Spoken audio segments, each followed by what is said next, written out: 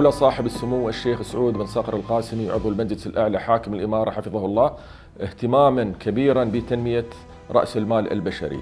فمن خلال دائرة الموارد البشرية تم تمكين المرأة العاملة ورعايتها وذلك من خلال عدة قرارات وتوجيهات من سموه وتم إتاحة فرص توظيفية كبيرة ومزايا متكافئة للمرأة العاملة.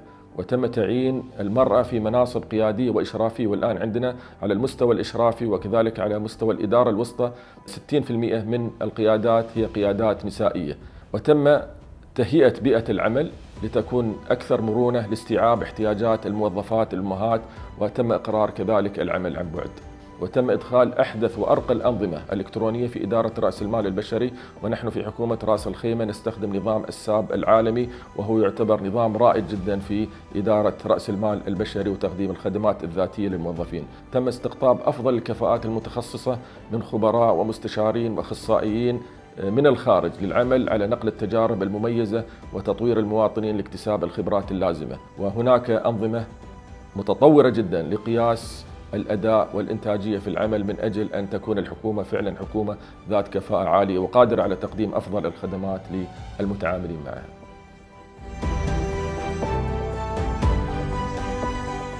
تأسست هيئة الموارد العامة في رأس الخيمة بمباركة ودعم من صاحب السمو الشيخ سعود بن صقر القاسمي في عام 2015 كذلك تدير الهيئة مجمع حفظ الآليات بمنطقة السعدي الذي يتسع العدد 15 ألف مركبة مما يجعله الأكبر على مستوى الدولة.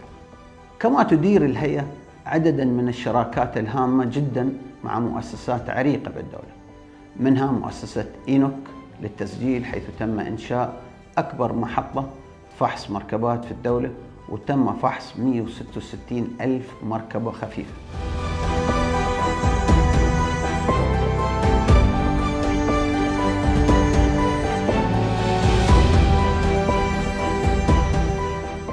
تمكنت الهيئة من عقد خمس مؤتمرات علمية عالمية خلال العشر سنوات بمعدل مؤتمر كل سنتين.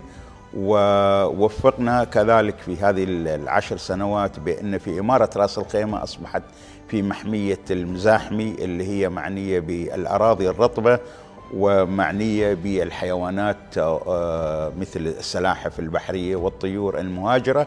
ما يخص الكهوف البحرية عددها ألف كهف من الكهوف هذه البحرية على سواحل الإمارة في ست مناطق مختلفة وكانت بتوجيهات حكومة رأس الخيمة أنها تساهم في إسعاد الصيادين بزيادة محاصيل الصيد عندهم. كذلك خلال العشر سنوات اللي مرت تم إنشاء مختبر متخصص بيئي في الهيئة معني بالدراسات البيئية. وهذا المختبر حصل على شهادة الآيزو 9001 والحمد لله نشرنا قرابة ل 12 بحث علمي متخصص في مجلات علمية عالمية. القطاع الصناعي عندنا في الإمارة هو متميز ومحافظ على البيئة.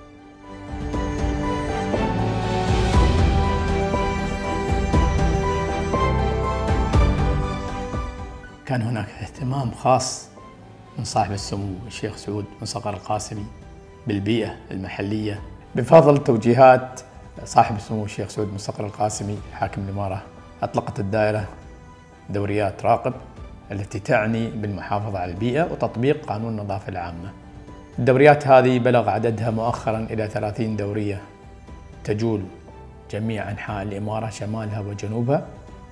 ومن ضمن المشاريع التي أنجزتها الدائرة طريق جبل جيس على امتداد 36 كيلومتر إلى أعلى قمة في دولة الإمارات العربية المتحدة وهي الوجهة السياحية المحلية والعالمية. ومن ضمن الإنجازات الأخرى افتتاح أكبر مصنع لفرز النفايات في إمارة رأس الخيمة وبسعة 600 طن يوميا. الدائرة اهتمت بإطلاق أول خريطة مسح نباتي للإمارة. تشجير شارع الشهداء في إمارة رأس خيمة. أيضا حظي اهتمام من رئيس الدائرة الله يحفظه. وإن شاء الله نعدكم بالمزيد من الإنجازات في الفترة القادمة. وترقبوا التحول الذكي في خدماتنا المميزة إن شاء الله.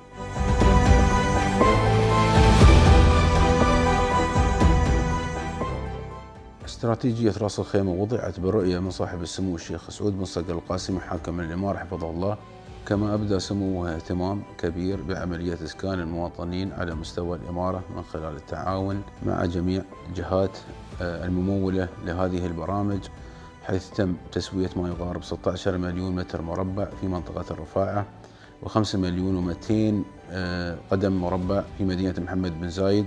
من أهم المشاريع التي تم العمل بها خلال السنوات الماضية هي تطوير منظومة نظم المعلومات الجغرافية حيث تم إطلاق مشروع البنية التحتية المكانية لحكومة رأس الخيمة.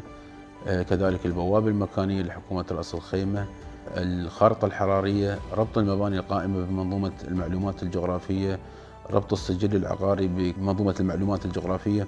تحويل المخطط العام للإمارة من الأوتوكات إلى آه، نظام المعلومات الجغرافية. تم استحداث آه، قطاع الطاقة والطاقة المتجددة تحت مظلة بلدية رأس الخيمة آه، وتم وضع استراتيجية لهذا القطاع تتكون من تسع برامج وأهم هذه المشاريع مشروع بارجيل وهو أول لائحة للمباني الخضراء على مستوى الإمارة وتم تنفيذها بشكل إلزامي اعتبارا من فبراير 2020 وتم ما يقارب إصدار 800 رخصة بناء بنهاية أغسطس 2020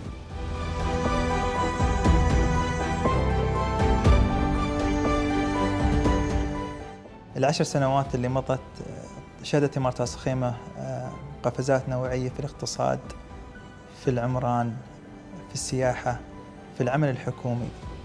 في أول لقاء مع سموة آه، وجهني ب تكون الحكومة الإلكترونية حكومة في متناول الجميع خدمات متوفرة عن طريق الموبايل. استطعنا الحمد لله ربط جميع الدوائر المحلية بأحدث أنظمة التقنيات الموجودة على مستوى العالم. كذلك استطعنا الحمد لله بفضل الله سبحانه وتعالى وفرق العمل إطلاق بوابة حكومة رأس الخيمة. أثرينا المحتوى بمعلومات وبيانات تساعد المواطن والمقيم والمستثمر على الحصول على المعلومة. وإضافة 700 خدمة تخدم هذه الشرائح. تم إطلاق 48 خدمة إلكترونية لقطاع الأعمال والاستثمار في إمارة رأس الخيمة. وبتوجيهات القيادة تم ربط جميع دوائر حكومة رأس الخيمة.